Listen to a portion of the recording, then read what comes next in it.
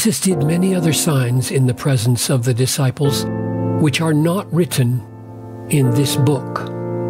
But these are written so that you may believe that Jesus is the Christ, the Son of God, and that by believing you may have life in his name. John 20, 30 to 31. I feel so strongly that among those of us who have grown up in the church and who can recite the great doctrines of our faith in our sleep, and yet who can yawn through the Apostles' Creed, that among us something must be done to help us once more feel the awe, the fear, the astonishment, the wonder of the Son of God, begotten by the Father from all eternity, reflecting all the glory of God, being the very image of his person, through whom all things were created, upholding the universe by the word of his power.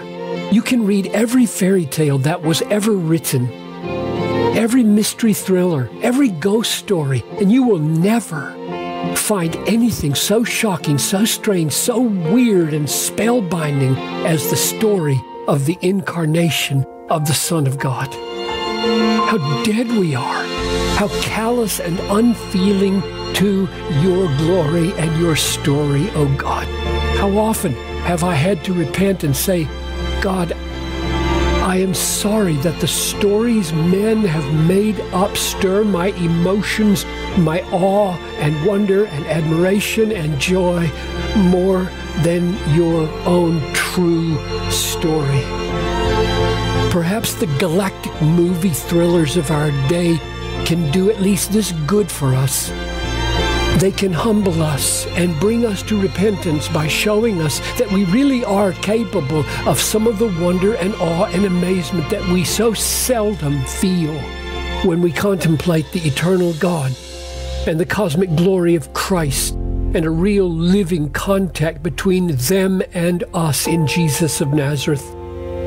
When Jesus said, For this purpose I have come into the world, he said something as crazy and weird and strange and eerie as any statement in any science fiction that you have ever read. Oh, how I pray for a breaking forth of the Spirit of God upon me and upon you for the Holy Spirit to break into my experience in a frightening way, to wake me up to the unimaginable reality of God. One of these days, lightning is going to fill the sky from the rising of the sun to its setting, and there is going to appear in the clouds the Son of Man with his mighty angels in flaming fire, and we will see him clearly. And whether from terror or sheer excitement, we will tremble and we will wonder how we ever lived so long with such a domesticated, harmless Christ. These things are written. The whole Bible is written that we might believe, that we might be stunned and awaken to the wonder that Jesus Christ is the Son of God who came into the world.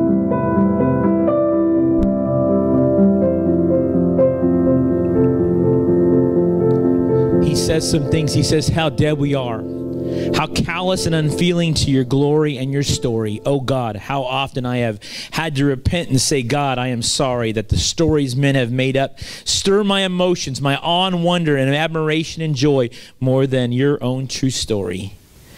Oh, how I pray for a breaking forth of the Spirit of God upon me and upon you, for the Holy Spirit to break into our experience in a frightening way, to wake me up from the unimaginable reality of God. This morning, I've entitled this message Shock and Awe. That this morning we would somehow understand who God is and really desire to know who He is. On March 21st, 2003. We all watched in amazement as the historic city of Babylon was set aflame. The U.S. government called it shock and awe. Oh, that our hearts would stand in amazement of Him as it does when we see the things around us. Oh, that we would be moved to change, not by the threat of destruction, discipline, or death, but by the amazement of God's glory.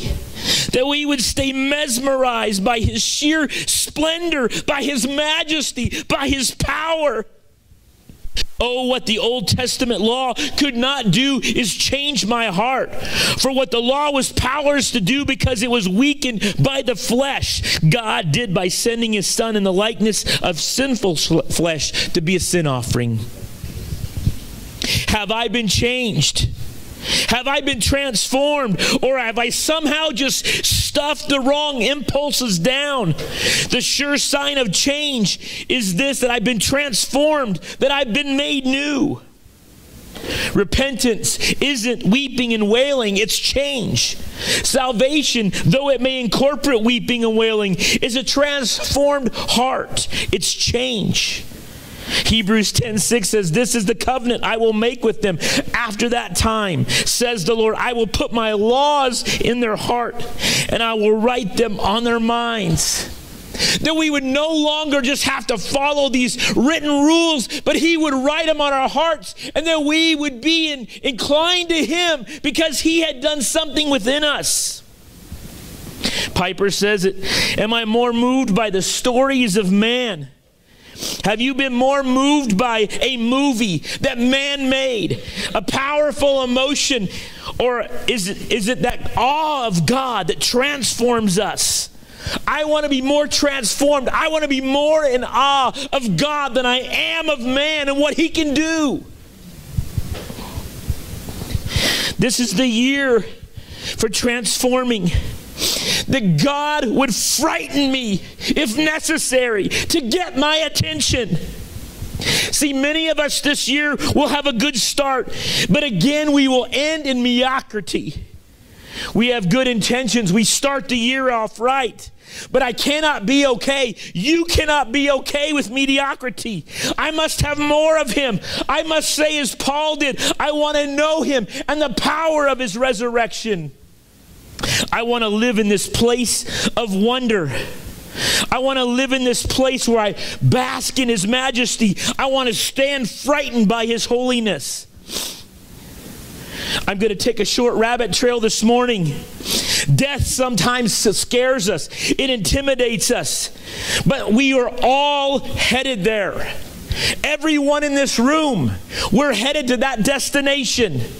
But God said through his son, I will change that result for all of you. That is the wonder. That is the miracle.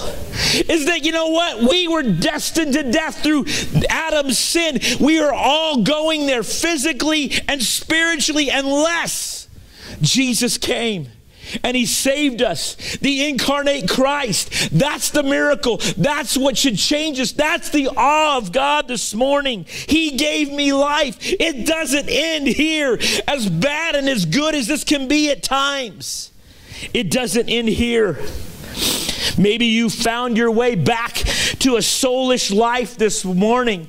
Things bother you, people bother you, the past bothers you.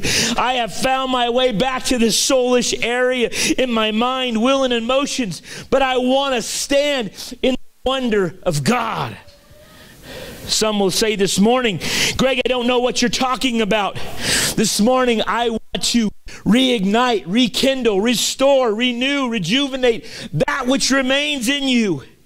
Over and over, you find it in the book of Revelation to strengthen that which remains, to strengthen that which is there. Don't give up on what's there. He says, I know I planted this in you. Don't let that fall apart. See, this morning, pride cannibalizes our awe. When our thoughts drift to how poorly we've been we've been treated, when we think we deserve more, when we think that we're not good enough, when our worship is devoured, it's eaten up by self, we remain under the umbrella here of our own authority and we can't recognize the greater authority. See, pride cannibalizes the awe of God. It keeps us separated from him. I want to enjoy his greatness. I want you to enjoy his greatness. Pride will devour that. There is an antidote to pride. Instead, not just not thinking about ourselves, but we become to this place where we just stand in awe of him constantly, remaining in awe of God. See, when we realize that it is our pride that pinned him to the cross, I can no longer stay there. God wants us to know this antidote to pride. This antidote to pride is remaining in awe of God. Self authority kills your relationship with God, it kills your relationship with the church, it kills community, and ultimately it kills the awe of God. It puts us back in charge. But Psalms 33 8 says in the King James Version, Let the earth fear the Lord, let all the inhabitants of the world stand in awe of him. Shock and awe is what we need this morning, what we need this year to shock my conscience back to the place where I stand in awe of God.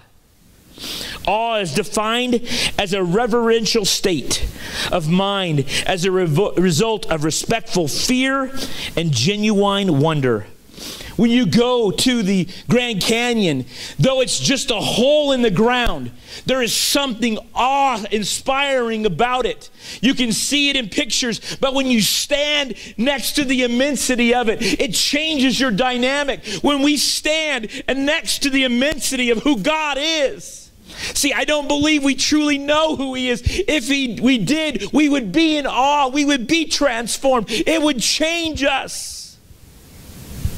In 1 Kings chapter 18, there is a story about the awe of God before the people. Elijah stands on Mount Carmel. The prophets of Baal have been challenged to a showdown of epic proportions. Elijah calls down fire from heaven.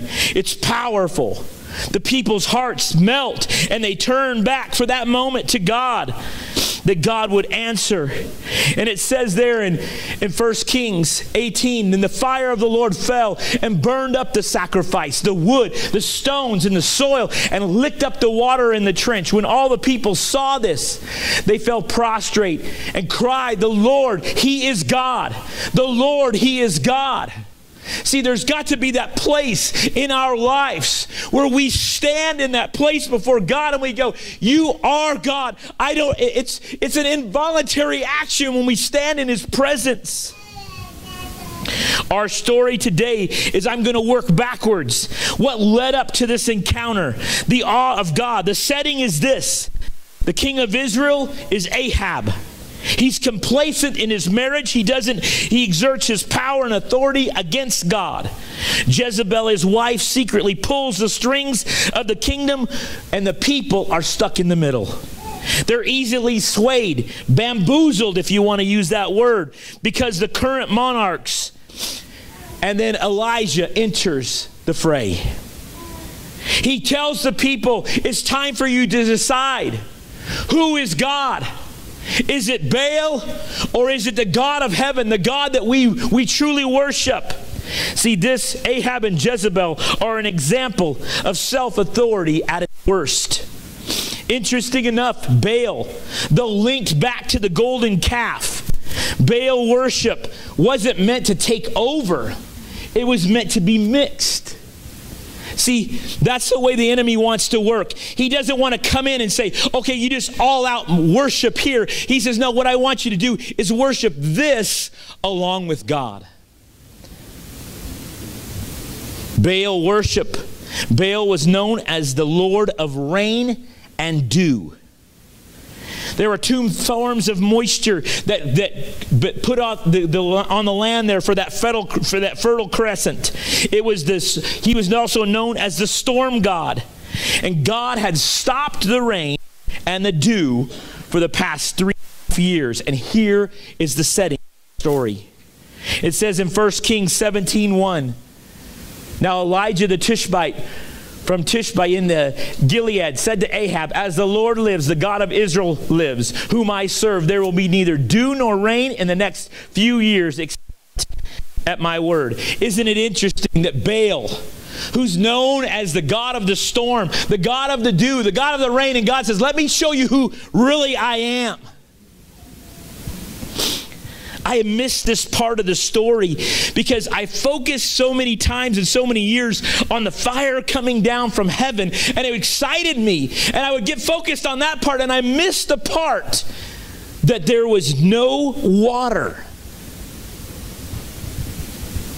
Something had missed it in this story. I had missed this all along. I, I in fact, in, if you go to 1 Kings 18 5, it says there, um, excuse me, I don't have it, but I'm going to read it to you. It says, And Ahab said, Go throughout the land to all the springs and valleys. Maybe we can find some grass to keep horses and mules alive so we don't have to kill any of our animals.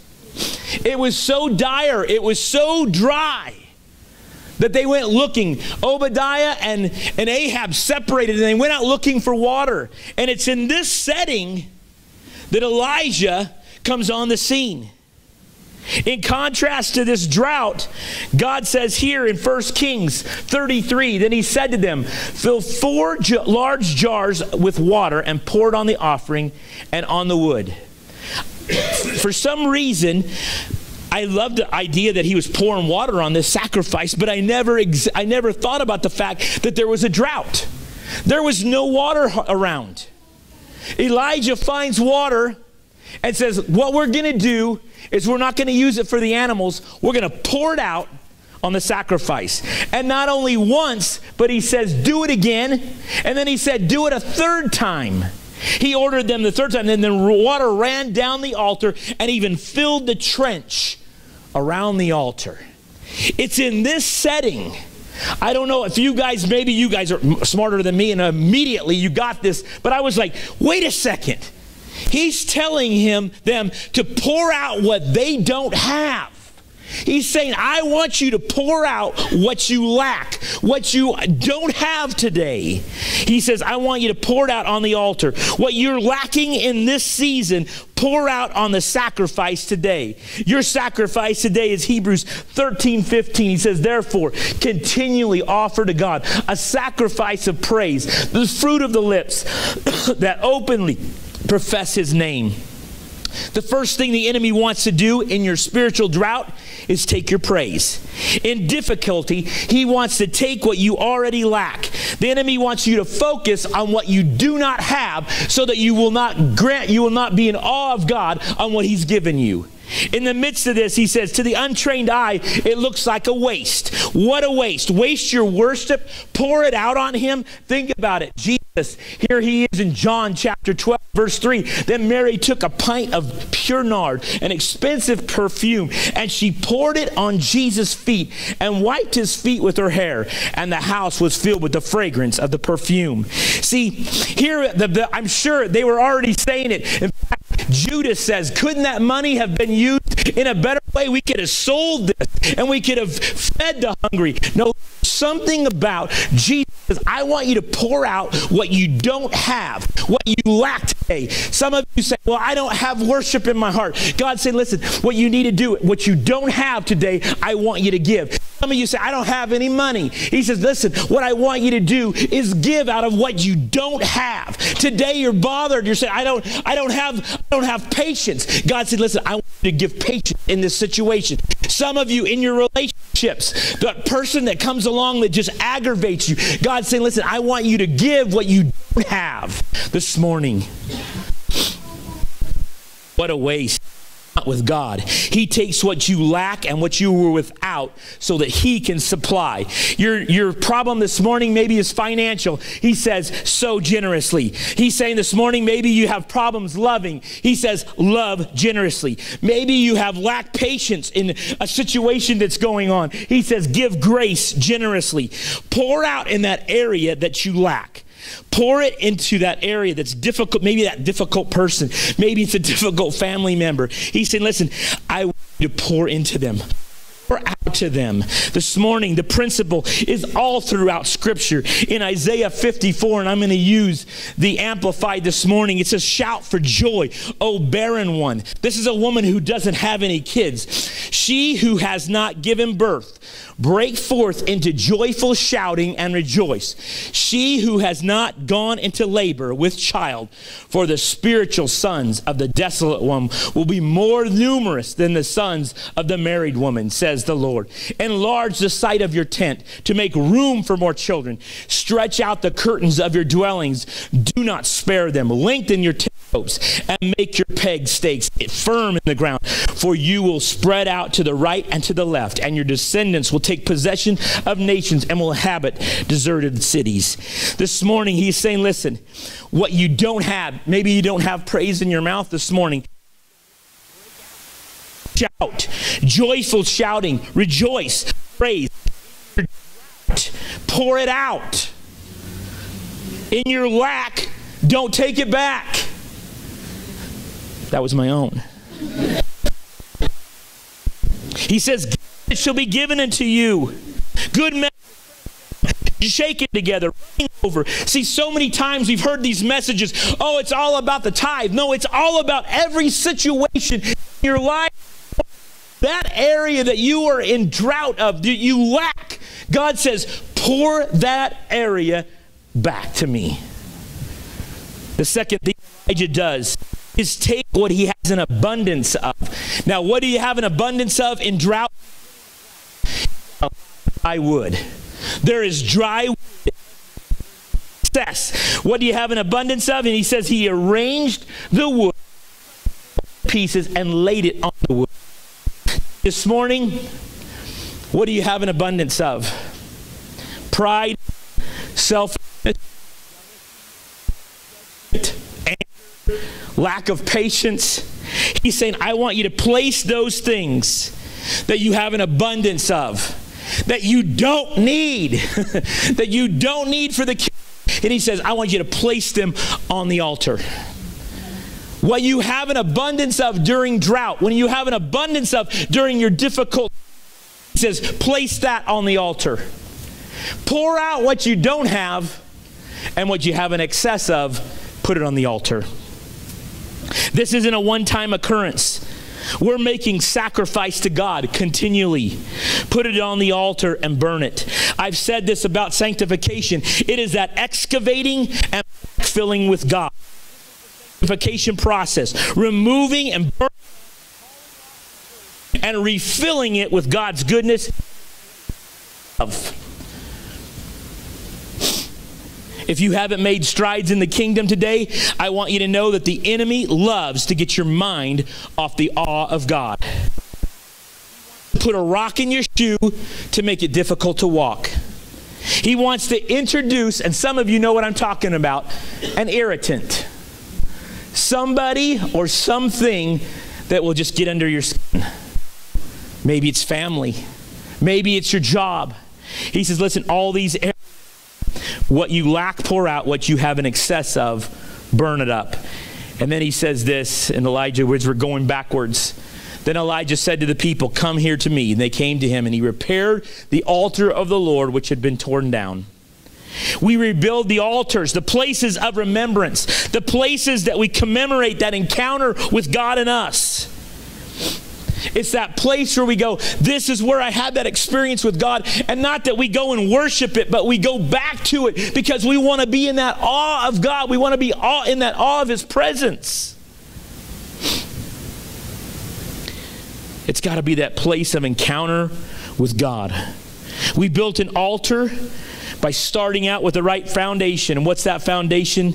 It's devouring God's word, which keeps us in awe of God. The last thing this morning is in 1 Kings 17.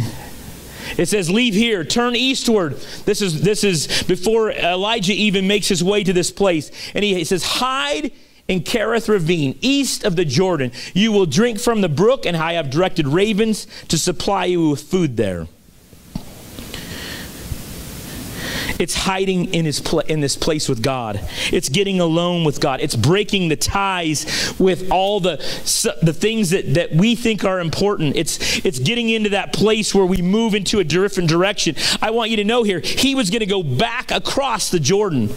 Remember, remember the children of Israel had come across the Jordan. That was a big step. He's being told, listen, I want you to go back there. And I want you to hide yourself. I want you to get alone with me. And I've directed ravens. Ravens are nasty birds, they're unclean. And he said, Listen, I'm going to have them feed you. And I've already prepared water for you during this drought. See, that's the way God works in our lives. And when and in the midst of that situation, you go, well, when am I supposed to move forward? It's exactly like it is in, it for Elijah. It says, sometime later the brook dried up because there had been no rain in the land. When the brook dries up, and God does not have something for you, then He's getting ready to move you to the next place.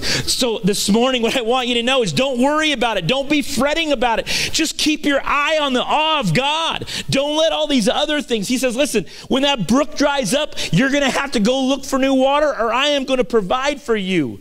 One or the other, I will make a way. And You don't worry. Don't yourself tied up in all the irritant. You just focus on God or what you don't have this morning. Focus on what you do have. You have the King of Kings and the Lord of Lords. He, he's in your heart. Saying, listen, everybody in this world, we're all going to go back to earth. But he says, but those of you who know me, I've got something prepared for you. I've got something that. So listen, don't worry about how it looks in this life at times. It may look dire, the brook may dry up. The ravens may be gone. That's okay. God says, Listen, I will provide for you, I will take care of you. Cherith was the, this place where his national identity, his cultural identity, his individuality and identity, and even his religious identity would be challenged. Some of us, we've been challenged in that place. I know that's why I'm here today. I was in Assemblies of God, boy, all my life. But God said, listen, what I want you to do, I want you to follow me. I want you to get behind me. I want you to get in my stream. I want you to walk behind me. And you know what? When I got in and I started drafting behind God, everything changed. Some of you don't know what I'm talking about because you know you have this certain mindset of, okay, I've given my heart to the Lord, but we don't know what it looks like to really be in behind Him and following Him. We need a frightening encounter with God. I'm going to say this this morning. Our city needs a frightening encounter with God. Our churches, by city and nation, need a truly frightening encounter with God. It would be better to be drastically scared and to change our course than to continue on to destruction. It's like this. Some of you guys know what I'm talking about. I know some of you guys are truck drivers in here, and you guys have we've driven before. And I remember driving and driving and driving and getting tired. And I was thinking to myself, I remember that time when I'm driving along, and all of a sudden I just close my eyes for a second, and then all of a sudden I'm drifting off to the road. I'm wah, you know, wake myself up, and I'm like, man, I start slapping myself. I need something drastic to keep me awake. I need I need some Mountain Dew. I need some sunflower seeds or something to keep me moving. And sometimes that that's what we need spiritually. We need God's Mountain Dew to wake us up. God, give me that frightening encounter. I want us all to be able to say that as we leave this place this morning. God, I need that frightening encounter with you. Change me. Don't let me just weep and wail. Let me change. Let me be transformed into your image.